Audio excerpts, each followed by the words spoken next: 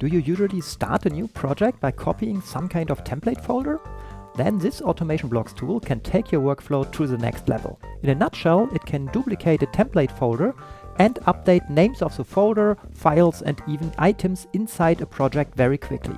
Let's take a look at how this works in detail.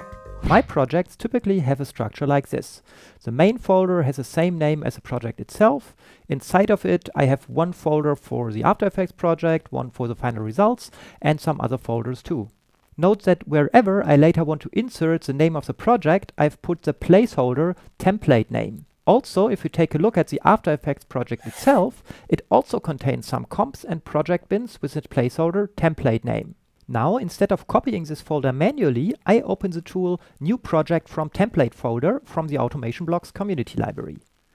When I use it the first time, I need to configure it, but don't worry, it's super easy. In the block code of the tool, in the very first line, we simply need to choose which folder you want to use as a template folder. So this folder here in our case.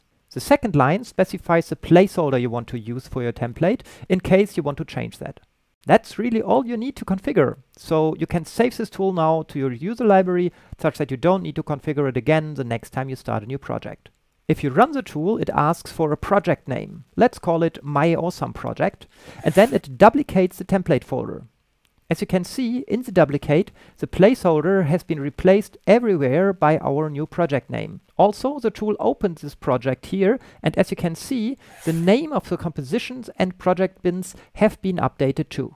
So this saves you quite a bit of cut and paste work and makes sure your projects are always named consistently. This is just one of many tools of Automation Blocks for After Effects, and if you want to get even more fancy with creating new projects, check out the course Write Your Custom Project Setup Script in the Automation Blocks documentation.